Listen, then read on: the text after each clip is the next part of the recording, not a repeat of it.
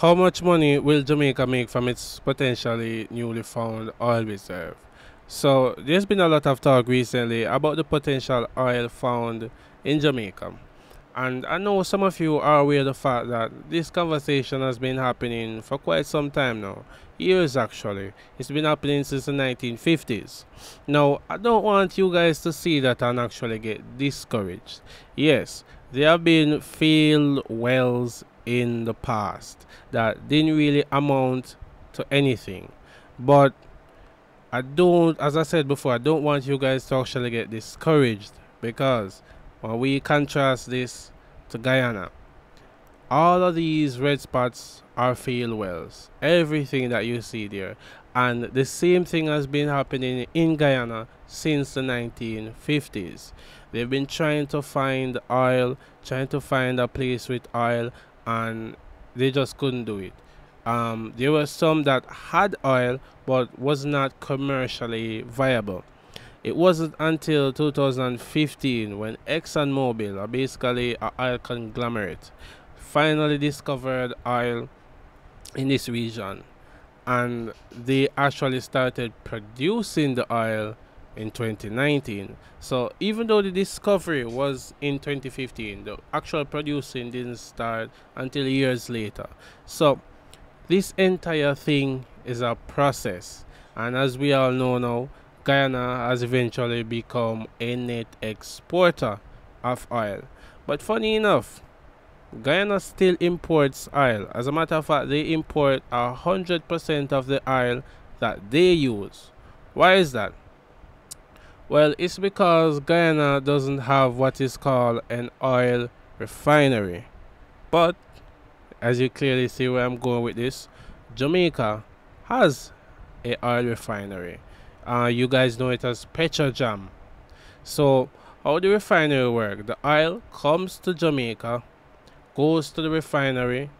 The refinery does the process and it basically breaks up the oil into multiple different oil for different uses.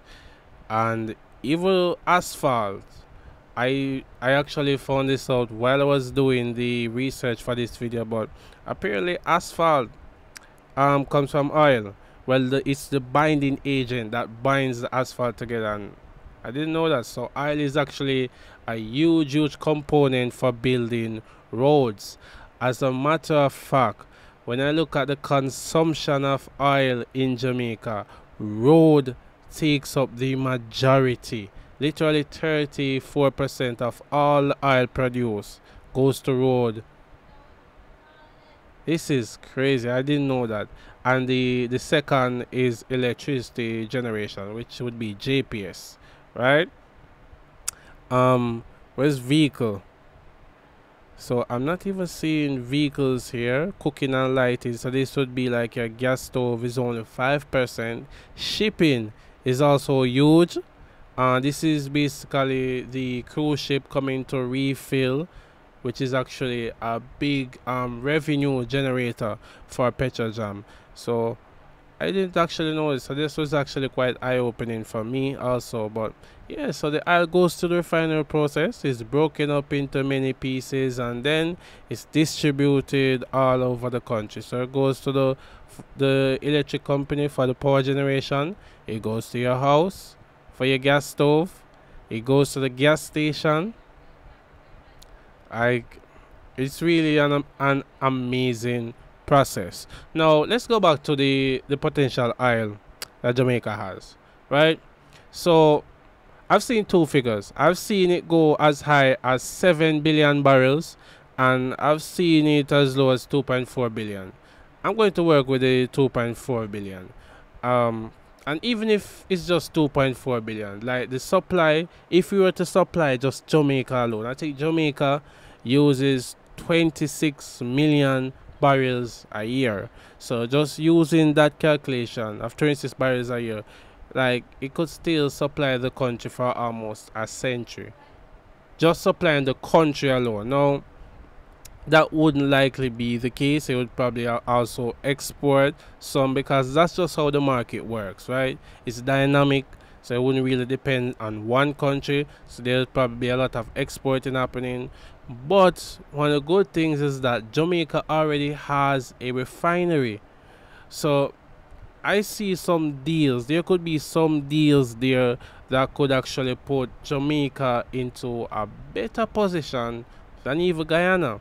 Because Guyana still has to import all of their oil. And I think they import it from Trinidad and Tobago and the United States a small percentage from Jamaica very very small percentage um, negligible actually now let's talk about the revenue because that's what we came here for so this is basically my revenue breakdown of the potential oil that we have. So this is based on the 2.5 billion barrels.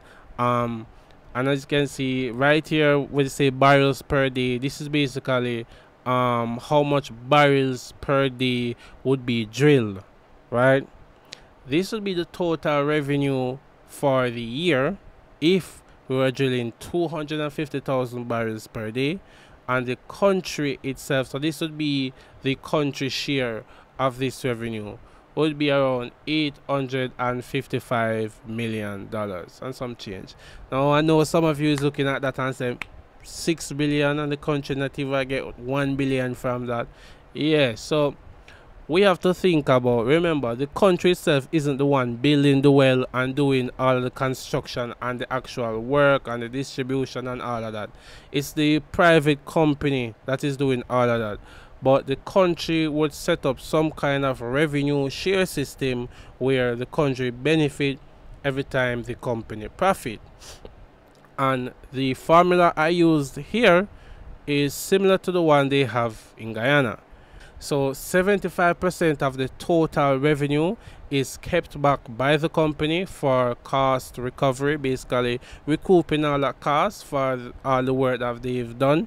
Um, but it's not profit right? It's just recouping back their cost, basically the money that them already spent. And then there is a 50% revenue share of the profit, the actual profit. So everything that's profit, they, the country would get 50% of the profit. And this is what it came out to be.